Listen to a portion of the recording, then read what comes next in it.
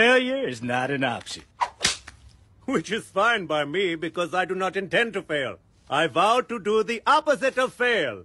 You mean succeed? No, I will not suck seed. No one will be sucking seed.